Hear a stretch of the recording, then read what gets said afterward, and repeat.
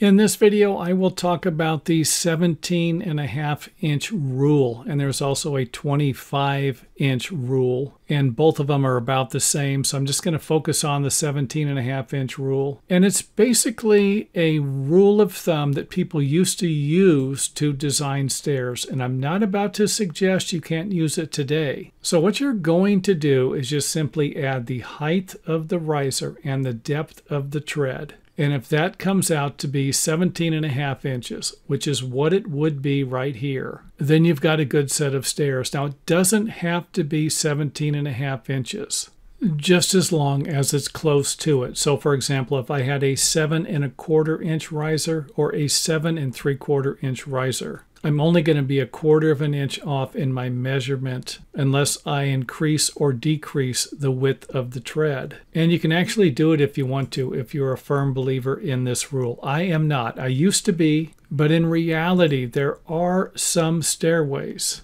that this won't work with. Now, this won't be one of them. Six and a half inches and 11 inches should provide most of you with a comfortable step. And I hate to use the word average here. People who are taller or shorter, older or younger might have a difficult time using the 17 and a half inch rule as a standard rule of thumb to create a comfortable stairway.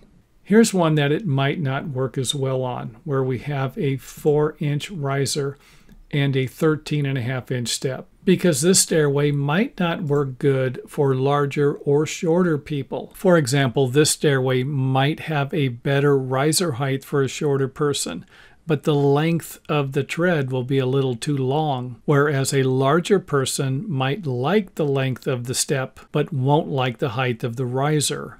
And then if we shorten the step and raise the height of the riser, again, we still have 17 and a half inches here. Yet we've just created a stairway where the riser height might be a little more difficult to use for shorter people. And the width of the step might be a little more difficult to use for people with larger feet. However, if we increase the depth of the steps to 11 inches, and we have an 8 inch riser. We could end up with a more comfortable step, but definitely a safer step. For larger people again, someone who's going to have a larger foot and won't have to walk up the stairway on their tiptoes. And I can provide you with a variety of different examples, but by now you should get the point.